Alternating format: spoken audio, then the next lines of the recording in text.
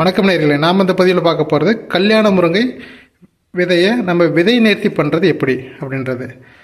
இந்த பதிவில் நம்ம டீட்டெயிலாக பார்க்கலாம்.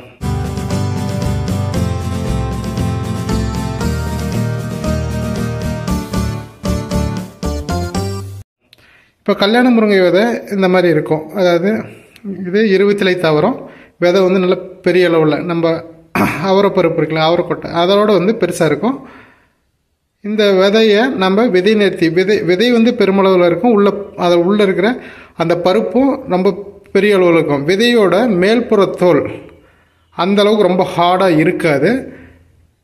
கிட்டத்தட்ட ரொம்ப சாஃப்டாக தான் இருக்கும். அதனால் இது வந்து ஒரு சில விவசாயிகள் சுடுதண்ணியில் விதையை போ போட்டு அதன் பிறகு பச்சை தண்ணி ஊற்றி டுவெண்ட்டி ஃபோர் ஹவர்ஸ் வச்சுருப்பாங்க. இப்போ சுடுதண்ணியில் விதை நிறுத்தி பண்ணலாமா அப்படின்னா கண்டிப்பாக தேவையே கிடையாது. விதையோட மேல்புறத்தோல் ரொம்ப சாஃப்டாக இருக்கிறதுனால இதுக்கு நார்மல் வாட்டரில் ஒரு டுவெண்ட்டி ஃபோர் ஹவர்ஸ் சோக் பண்ணால் போதும். அதுலேயே வந்து விதை அதனோட முளைப்பு கணு எல்லாமே ஊறி முளைப்பு பக்குவப்பட்டு இருக்கும். அந்த சமயத்தில் இருபத்தி நாலு மணி நேரம் கழித்து நம்ம விதையை நம்ம நர்சரியில் கொண்டு போயிட்டு நம்ம பிளான்டிங் பண்ணி ஒரு certain period fifty days sixty days maintain பண்ணி அதுக்கப்புறம் மெயின் ஃபீல்டில் வைக்கிறதுன்றது இது நார்மலாக விவசாயிகள்லாம் ஃபாலோ பண்ணணும். இப்போது விதையை நம்ம நார்மல் வாட்டரில் மட்டும் கொட்டிக்கிறோம். வாட்டர் ஷோக்கிங் ஆகுது. இப்போ நார்மல் வாட்டரில் நம்ம வாட்டர் ஷோக்கிங் பண்ணிக்கிறோம். இதில் ஒரு டுவெண்ட்டி ஃபோர் ஹவர்ஸ் கழித்து எந்த இப்போ மே எல்லா விதையும் மேலே இருக்கும்.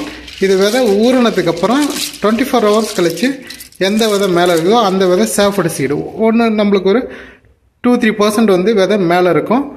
அப்போ அந்த விதையை நம்ம இதுலேருந்து ரிமூவ் பண்ணி வெளியே எடுத்து நம்ம வேஸ்ட்டில் வெளியில் எடுத்து போட்டுடலாம். மற்ற விதையை மட்டும் நம்மளுக்கு நல்லா பாசிட்டிவ் இருக்கிற விதை அதை கொண்டு போய் நம்ம பிளான்டிங் பண்ணிக்கலாம். நர்சரியில் ஸோ விதை நேர்த்தின்றது ஒரே step twenty four hours normal வாட்டரில் ஊற போட்டுரும்.